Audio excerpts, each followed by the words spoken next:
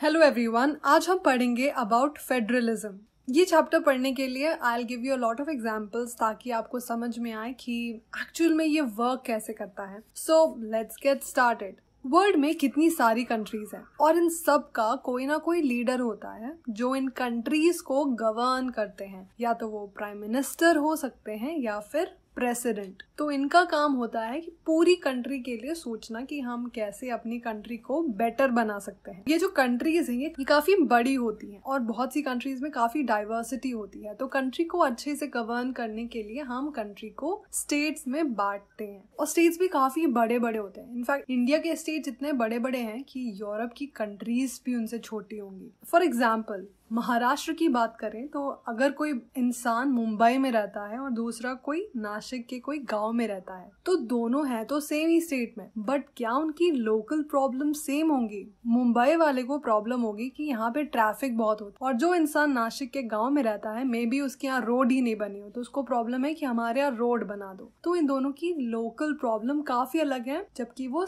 एक ही स्टेट में रह रहे हैं। इसलिए हम एक थर्ड लेवल बनाते हैं गवर्नमेंट का, जो कि होता है लोकल गवर्नमेंट लोकल गवर्नमेंट की बात हम आगे करेंगे तो ये सब तो ठीक है बट फेडरलिज्म क्या होता है? Federalism is a system of government in which the power is divided between a central authority and various constituent units of the country यानी कि जब हम पावर को बांटेंगे सेंट्रल गवर्नमेंट और स्टेट गवर्नमेंट में तो उसे हम कहते हैं फेडरलिज्म यानी कि आपको पावर बांटना ज़रूरी है, तभी होगा फेडरलिज्म जैसे कि श्रीलंका में एज वी रेड वो यूनिटरी गवर्नमेंट है बट वहाँ भी स्टेट गवर्नमेंट और लोकल गवर्नमेंट होती है. बट वहाँ पे स्टेट गवर्नमेंट के पास पावर नहीं है, खुद से डिसीज़न लेने की, उसको जो भी काम है, वो सेंट्रल गवर्नमेंट से पूछ के करना है. तो इसलिए वहाँ पे फेडरलिज्म नहीं है. इनफैक्ट बहुत ही कम कंट्रीज़ ऐसी हैं जहाँ फेडरल गवर्नमेंट है. सिर्फ़ 25 कंट्री हैं जहाँ पे फेडरल गवर्नमेंट है. हमारे भारत में क्या है? हमारे यहाँ फेडरल सिस्टम है, जो यूनिटरी गवर्नमेंट होती है, उसमें सारा पावर यूनियन गवर्नमेंट के पास रहता है। बट जो फेडरल गवर्नमेंट होती है, उनमें कहीं कहीं जगह सेंट्रल गवर्नमेंट को ज़्यादा पावर होता है और कहीं कहीं जगह स्टेट गवर्नमेंट को ज़्यादा पावर होता है, जिसकी वजह से सारी कंट्रीज़ में अलग अलग तरह का हमें फेडरल सिस्टम दिखता है। इसको समझने के लिए ऑस्ट्रेलिया और इंडिया का एग्ज़ाम्पल लेते हैं। ये दोनों ही ब्रिटेन की कॉलोनी थी ब्रिटिश एम्पायर का पार्ट थी ऑस्ट्रेलिया को हमसे थोड़ा टाइम पहले इंडिपेंडेंस मिल गई, हमें थोड़ा लेट में मिली। बट जब अंग्रेज़ जाने लगे थे, हमारे यहाँ से आपको पता होगा, हमारे देश को उन्होंने डिवाइड कर दिया था। सेम उन्होंने ऑस्ट्रेलिया के साथ भी ऐसा ही किया था। जब वहाँ से अंग्रेज़ गए तो ऑस्ट्रेलिया छह स्टेट्स में बटा हुआ था। अगर वो चाहते तो ये स्टेट्स अपनी अलग अलग कंट्री हो सकती थी। बट इन्होंने डिसाइड किया कि हम एक साथ आकर एक यूनियन बनाएँगे ऑस्ट्रेलिया का। हमारे यहाँ क्या था?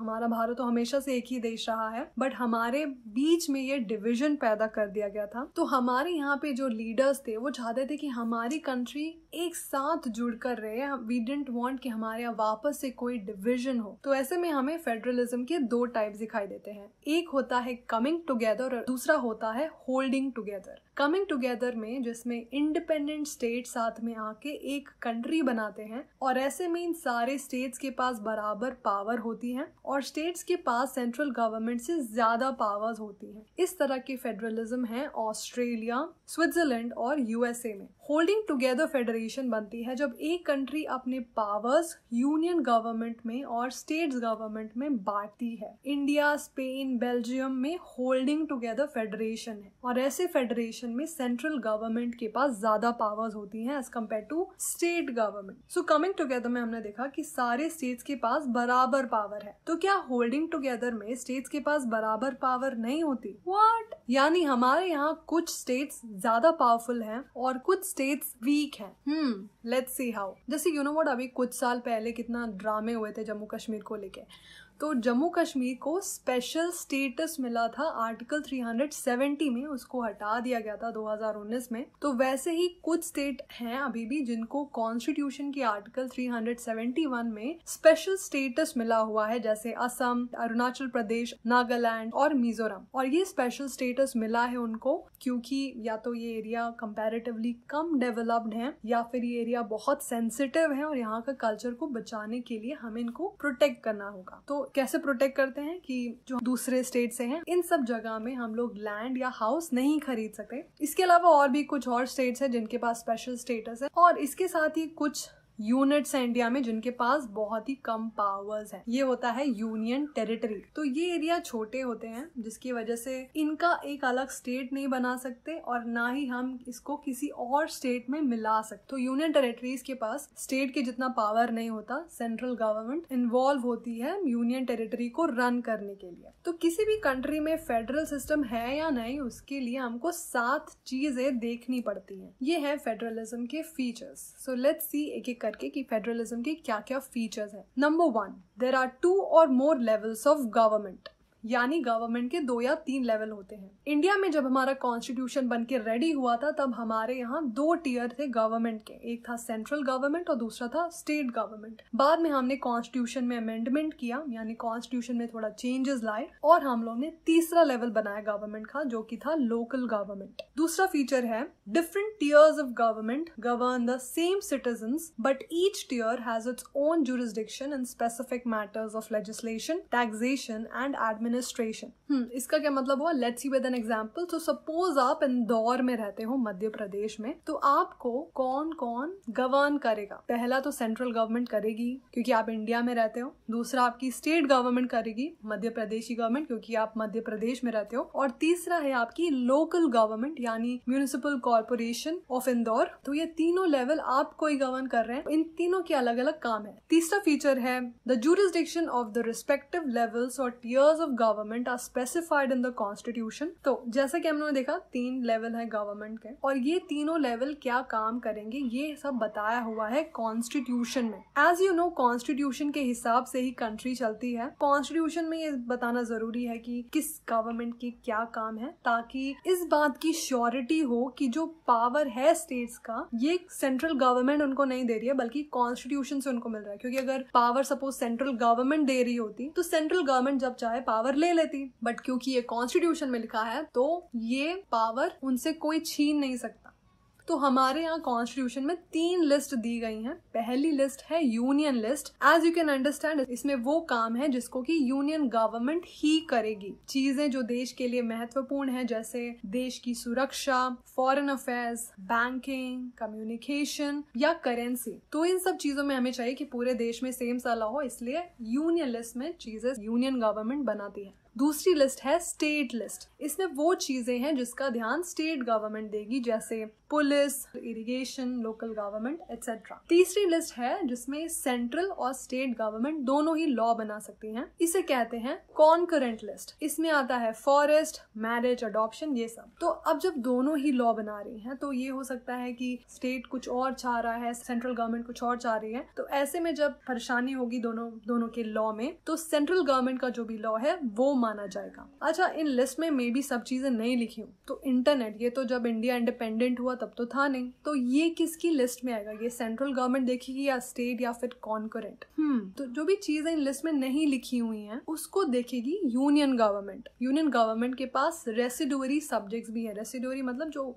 शेष हैं जो बचे हुए सब्जेक्ट हैं, वो सारे के सारे यूनियन गवर्नमेंट देखेगी। फोर्थ फीचर है fundamental provision of the constitution can not be unilaterally changed by one level of government such changes require the consent of both the levels of government यानी कि जो भी पावर स्टेट गवर्नमेंट को मिली हुई है constitution में, ये सेंट्रल गवर्नमेंट नहीं ले सकती। और अगर उनको कोई चेंजेस लाने हैं तो वो भी करना बहुत टफ है। चेंज करने के लिए क्या करना होगा? तो सबसे सबसे पहले सेंट्रल गवर्नमेंट को ये बिल लाना होगा कि उनको क्या चेंज करना है इस पावर शेयरिंग के स्ट्रक्चर में। इसके बाद ये बिल को पास होना पड़ेगा लोकसभा और राज्यसभा दोनों में with at least two third majority ना ही नहीं, इसके बाद ये जो बिल आएगा, ये सारे स्टेट्स के पास जाएगा। फिर ये स्टेट अपनी लेजिस्लेटिव असेंबली में इसके ऊपर बात करेंगे, फिर इसके ऊपर वोट करेंगे। ऐसा नहीं है कि खाली एक दो स्टेट ने अप्रूव कर दिया तो बस बिल बन गया। नहीं, बल्कि आधे स्टेट को इसको एक्सेप्ट एक्सेप्ट करना होगा, तब जाके चेंजेस आ पाएँगे कॉन्स्टिट्यूशन में जो जो भी चाहिए थे। तो ये बहुत ही ज़्यादा टफ है। सो फिफ्थ फीचर है courts have the power to interpret the constitution and the powers of different level of government the highest court acts as an umpire if disputes arise between different levels of government in the exercise of the respective powers तो क्योंकि federalism में power बटी हुई है central और state government में तो suppose कोई प्रॉब्लम होती है दोनों के बीच में तो इसका निपटारा करते हैं कोर्ट्स या तो सुप्रीम कोर्ट या फिर हाई कोर्ट सिक्स फीचर है फेडरलिज्म का sources of revenue for each level of government are clearly specified to ensure its financial autonomy तो सिर्फ़ पावर देना काफ़ी नहीं है, आपको चाहिए कि जो स्टेट गवर्नमेंट है, उनके पास फाइनेंशियल ऑटोनॉमी हो, यानी कि उनको सेंट्रल गवर्नमेंट से पैसे नहीं मांगने पड़े अपने काम के लिए। वो खुद से कोई टैक्स इम्पोज कर सके और अपने लिए रेवेन्यू इकट्ठा कर सके ताकि वो अपने स्टेट को अच्छे से चला सके। सेवेंथ फीचर है that an ideal federal system has both aspects mutual trust and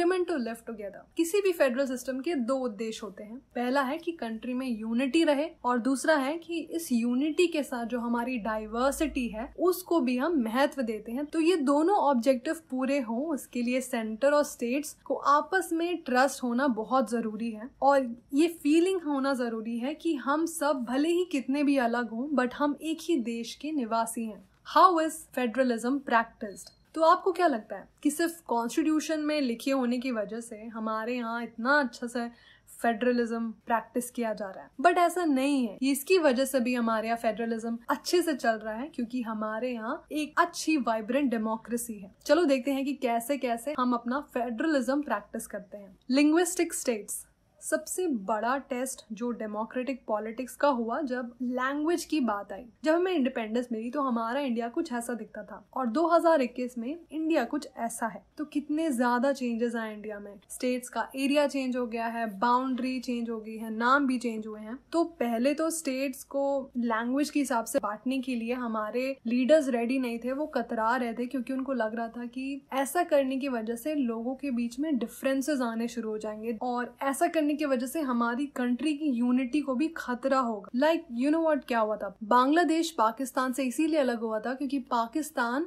Bangladesh की लैंग्वेज को इम्पोर्टेंस ही नहीं देता था। तो हम लोग ने तो बहुत अच्छा किया कि हम लोग ने अपनी डाइवर्सिटी को ध्यान में रख के लैंग्वेज के हिसाब से हम लोग ने स्टेट्स बनाए।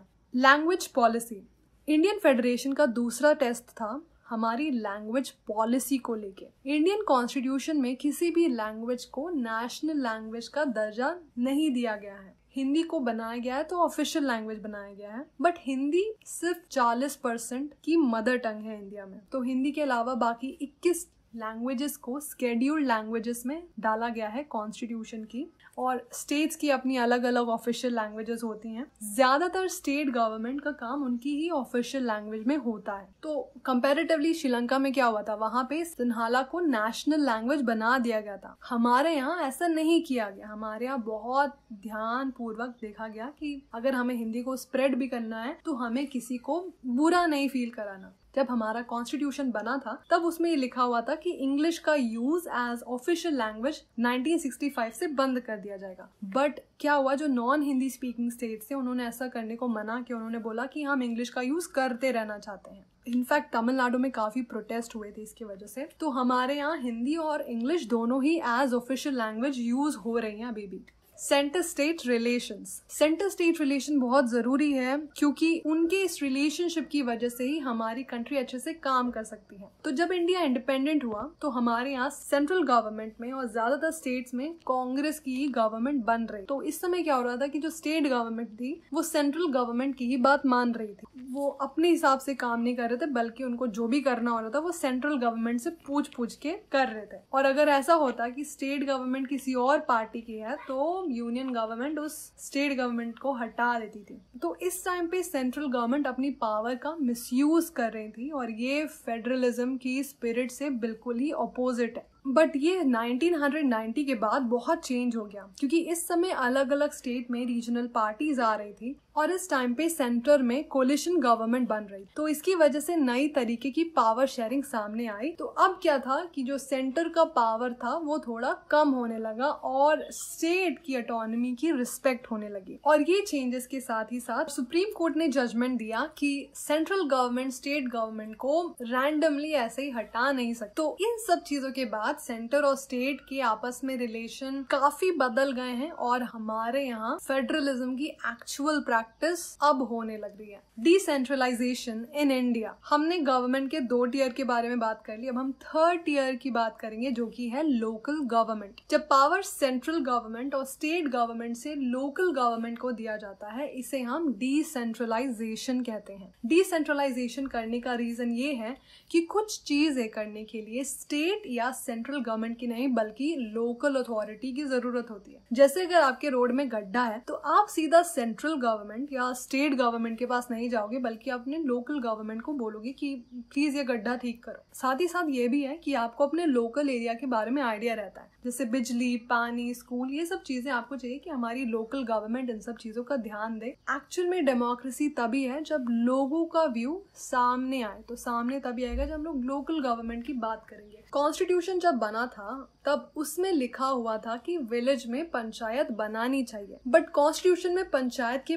पावर्स एंड ऑल नहीं लिखे हुए थे। और क्योंकि पावर्स नहीं है तो जो भी लोकल गवर्नमेंट बनती थी, उसकी पावर्स स्टेट के पास होती थी। स्टेट्स का मन हो तो वो लोकल गवर्नमेंट बनाए, या स्टेट्स का मन नहीं हो तो वो लोकल गवर्नमेंट नहीं बनाए। लोकल गवर्नमेंट की, खुद की कोई पावर नहीं थी। तो जब कोई पावर नहीं है तो डिसेंट्रलाइजेशन भी नहीं है। डिसेंट्रलाइजेशन के लिए सबसे बड़ा कदम लिया गया था 1992 में, जब कॉन्स्टिट्यूशन को अमेंड किया गया और लोकल गवर्नमेंट की क्या पावर्स हैं ये कॉन्स्टिट्यूशन में लिखा गया? वील सी कि क्या चेंजेस आए इस अमेंडमेंट के बाद। पहला, जो स्टेट गवर्नमेंट के पास पावर थी लोकल गवर्नमेंट को लेके कि स्टेट गवर्नमेंट चाहे तो इलेक्शन करवाए या ना करवाए, उसकी जगह ये ज़रूरी हो गया कि लोकल गवर्नमेंट के इलेक्शन हर कुछ साल में कराने ज़रूरी हैं। और उसके लिए एक स्टेट इलेक्शन कमीशन बनाया गया, जिसका ये काम था कि पंचायत और म्यूनिसिपल इलेक्शंस करवाए। दूसरा, कि इन लोकल बॉडीज में स्केड्यूल्ड कास्ट स्केड्यूल्ड ट्राइब्स और अदर बैकवर्ड क्लासेस के लिए सीट्स रिज़र्व कर दी गई थी। तीसरा है, और इन सीटों में वन थर्ड सीट वुमेन के लिए रिज़र्व कर दी गई थी। चौथा है कि